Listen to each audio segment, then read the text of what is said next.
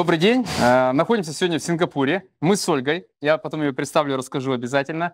Здесь идеальная погода, прекрасный вид этого интервью. Потом обязательно покажем, как это все происходит.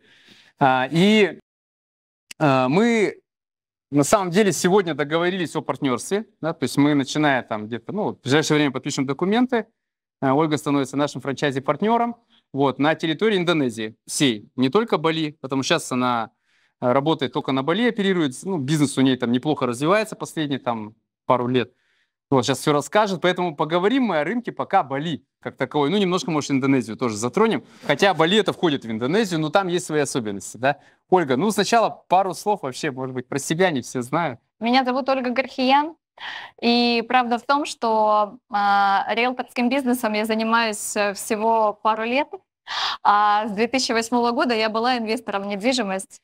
И, в общем, инвесторские мозги мне куда, куда понятнее. Так, так. да, но, а, скажем так, и э, жизнь распорядилась э, таким интересным образом, что а, я захотела релацировать, и Бали — это то место, куда я езжу с 2006 года, и я обожаю Бали, Индонезию, потому что тепло и потому что люди добрые. Ольга, правильно я понимаю? Получается, 16 лет ездили-ездили и решили остаться. И, и Затянуло. И доездили.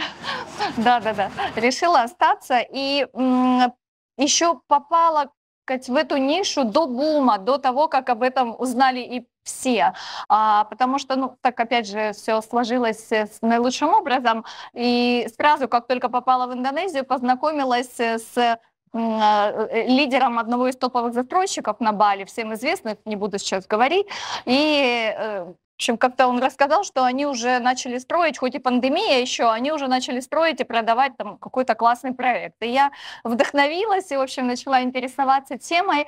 А, и, в общем, как-то вот так все пошло-пошло а, натурально. Вот что называется, когда мир дает сразу обратную связь, что ты делаешь правильно. Угу. Ну, то есть сразу возврат там в виде вот, аплодисментов мира за то, что ты делаешь. Вот, вот так. Так, хорошо. коротко. Ну, как рынок Бали? Что там вообще у нас? Как цены? Э, стоит покупать, нет? Рынок Бали процветает, безусловно, но так будет не всегда.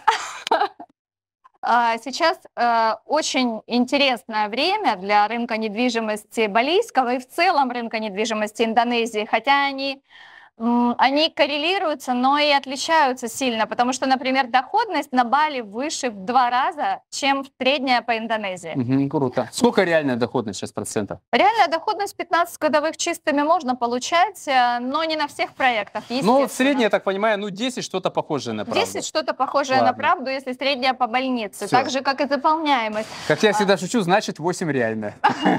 Застройщики нам рисуют заполняемость 90%, а, да, а реальная по острову э, из аналитики 61, значит, мы говорим о том, что там 70-75 можно делать. Как вообще дела э, с э, ну, вторичным рынком или только сейчас новостройки пока риэлторы там продают? Это проблема, это прям вы попали в самое сердечко, потому что на Бали рынок вторички э, не развит от слова совсем.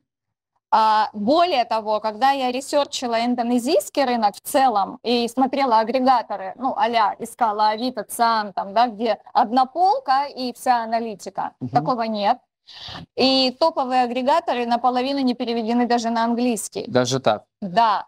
И про что это? Это про то, что мы, э, нам крайне сложно э, на вторичном рынке вообще ориентироваться, коммуницировать, находить друг друга, продавец-покупатель.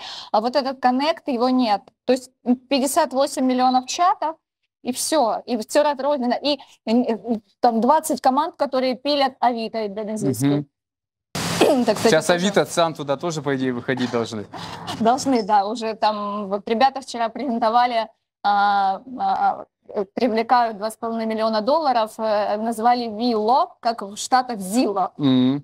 А, вот, э, сколько, хотя... сколько? 2,5 миллиона долларов? Да, да, да, привлекают. Нормально. В, Кстати, Сильно. кто не знает, в Индонезии почти 270 миллионов населения. 274. Это, даже 274, да? Это очень большой рынок, а, который, ну, вы представляете масштабы, причем, я так понимаю, это пока ближе к России 2000 Да, по развитию экономическому это Россия 90 пятый, вот начало, это только Мгм. начало, потому что очень молодое законодательство, очень много коллизий права, очень много возможностей, А там которые дают- какая-то строй, какой-то строй сменился или что там произошло? Почему молодое законодательство? Нет, там э, в целом они, ну скажем, не развивали свое законодательство. Э, Им хватало того Мгм. уровня, который был. Строй, строй у них э, давно не менялся, у них недавно поменялся президент. А, Был Джоко Видода, Джокови в простонародье, который культовый э, лидер, он и остается культовым лидером. А, На его место пришел Су- Субианта, Су- Промова Субианта, сори, Я еще, еще, еще лично не знакома, а, поэтому забыла имя. А, а, Но, тем не менее, ничего не меняется. Ни для Индонезии, ни для отношений. Я, кстати, вот как только лидера признали, огласили, я писала статью в Русбейс или в Риама, в какое-то большое Мгм. издание в России, они э, э, заказы мне делают в последнее время об Индонезии. Я говорила о том, что для российско-индонезийских отношений угрозы нет. Ее как не было 50 лет, не прерывалась дипмиссия, так ее и нет и сейчас. Ну, в среднем срок строительства года полтора, правильно, на Бали? Да, в среднем То есть это рассрочка на полтора года. полтора-два года. Хорошо. Как с русской общиной там дела? Сколько там россиян живет вообще? Скажем так, русскоговорящих, давай, давай так. До пандемии постоянно жило где-то 2-3 тысячи. На Бали, все да? друг друга знали. Сейчас сколько? А сейчас где-то 5-7. Ну, то есть А Зимой даже до, там, до 15 до 15. Ну, это большая община. Да, Там, да. наверное, большой общий чат есть, русский чат. А, ну их миллион, А самый крупного сколько участников? 50 лишним тысяч. Русского чата. Да, они же приезжают, уезжают. А, вот так вот, да? А, все, все, все, все, все, все. Да, но вообще много русских чатов, большая, большая коммуникация на абсолютно разные темы. Да, есть два бизнес-сообщества крупных. Да? Ну и вопрос, как конкуренция за российских клиентов большая? Да, конкуренция большая. э, э, Я даже смотрю по ценам на таргет, по аукциону. Да. Да, мы раньше таргетировали, сейчас нет. И я смотрю за коллегами, как они в этом. Участвуют во всем этом. Да, да, да. Сколько клик доходил? А, о, не помню, сколько клик. У нас квал, у нас квал стоил 50, 40-50 долларов, не, не квал на э, э, где-то 20 был, то есть Какие 50 клики? процентов э, было квалов. О, ничего себе, очень дорогие цены, кстати. Ну, да. Очень дорогие. Но сейчас еще выше. Хорошо. А, такой вопрос. Он традиционный. А, для вот э, русский человек, когда переезжает да, за границу, что он испытывает? Легкий шок, но испытывает огромное количество нейронных связей, которые в голове каждый день новые, и, и это круто. Я очень люблю учиться, поэтому для меня вот этот стресс, он э, такой классный, я, Мгм. меня он драйвит. Мгм. Но в целом, конечно, это все новое. Это Мгм. все новое, это все каждый день все новое, это ко всему привыкаешь. И это определенный уровень стресса, который съедает эне- энергию. А, Но люди адаптируются, тем более наши русские, Ну, наши везде адаптируются. Так, я думаю, э, пойдемте туда еще прогуляемся, посмотрим сейчас. Ага, очень красиво. Тут на самом деле очень красиво, можно посмотреть, да, прям замечательно. У меня такой вопрос. Многие считают, что а, при покупке недвижимости люди еще покупают себе такую среду вообще. А что там с инфраструктурой? Насколько там замечательные дома? Ну, с инфраструктурой там не все хорошо. В инфраструктуру правительство вкладывает только в определенные зоны Бали. Сейчас уже, конечно, в общую вкладывают, дорогу делают, монорельс делают, второй аэропорт и так далее.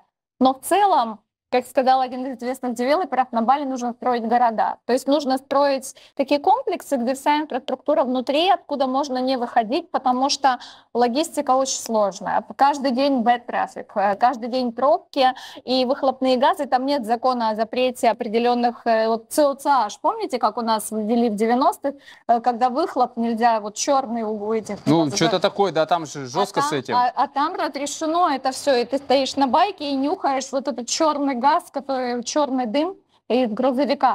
В общем, это к тому, что передвигаться по острову становится все труднее. Остров уже не справляется с той нагрузкой э, туристов, которая есть, а она растет постоянно. Мгм. И 25 год ожидается вообще колоссальная, до 24 миллионов загрузка, да, то есть Мгм. в 23-м приехало 6,5 миллионов и не справлялся уже остров. Сейчас остров плачет уже от отсутствия инфраструктуры. Поэтому моя рекомендация... Поэтому покупайте на Бали. Поэтому моя рекомендация для девелоперов и для инвесторов. Девелоперам нужно строить инфраструктурные комплексы, а инвесторам покупать только либо внутри инфраструктуры, где уже все построено, либо а, чтобы не было 30 минут а, на машине до ближайшего магазина. Кстати, вот, Ольга, спасибо. Да. Тут так жарко, я вот, честно говоря, аж это, устаю, уже спа- спотел уже чуть-чуть. Так, э, пойдемте лучше вот туда, я думаю. Там тоже красивые виды, на самом деле. Вот если сравнивать Бали, допустим, с Дубаем, да, Мгм. А, с Люблю Турцией, Бали с а Дубаем. какое преимущество? А почему Бали, а не Дубай? А, а я вам очень легко скажу, потому что ни в Дубае, ни в Турции нет 365 дней в году сезона. Вот согласен. Вот Всё. такая красотища, тут там море, тут Круглый вон год.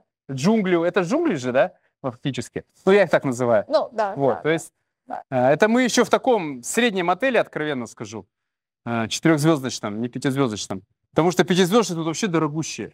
Очень дорогие На Сингапуре, Сингапуре. да. А тысяча долларов в сутки, ну это ни в какие ворота вообще не лезет.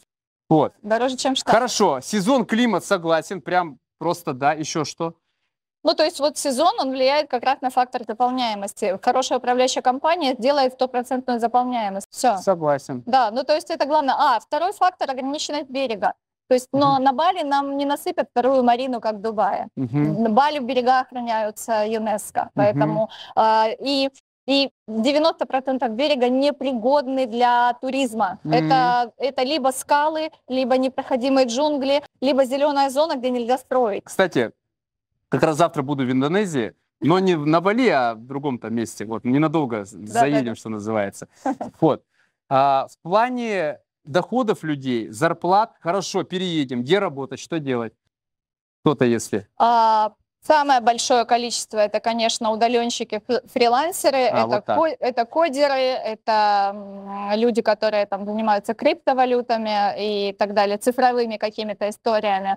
А, И это какие-то онлайн-школы всяческие. То есть это подавляющее большинство, чем занимается русскоязычное сообщество. Хорошо, а где вот все-таки, ну, там, не знаю, инженером, как там русские вот таком... На стройку можно пойти. То есть, э, Да. то есть Девелоперу можно в штат устроиться там же еще выс- высокие технологии. там эти делают, по-моему. умные дома. Все там, там, хорошо. Мгм. Так, а вот если врач, ему легко устроиться? Нет, он не имеет права, э, не резидент не имеет права практиковать. Он может открыть клинику, а резать будут индонезы. Да? Да. То есть там все так у вас за- защищается. Хорошо. Но вот сейчас э, создали офшорную зону, как раз в Сануре, там Майо Клиник, это большое, большая сетевая, а, большая сеть э, клиник американских.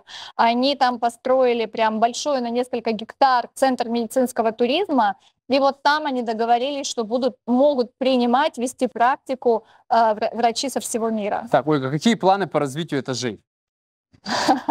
Хороший вопрос. Первое – это командировка в Россию и плотная работа в нескольких регионах. Это Москва, Тюмень и юг России. Ну, потому что я сама из Краснодара, и я не могу не заехать в Ростов и Краснодар э, этажи.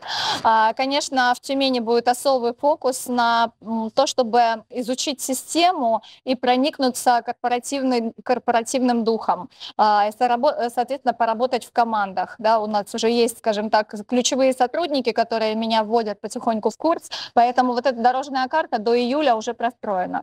Хорошо. Ольга, ну я желаю вам тогда удачи, чтобы все у вас было хорошо, великолепно. Хорошо, что вы прилетели, спасибо большое. Вживую всегда лучше, чем по ВКС поговорить. Вот поэтому в добрый путь. Сто процентов. Все, спасибо большое.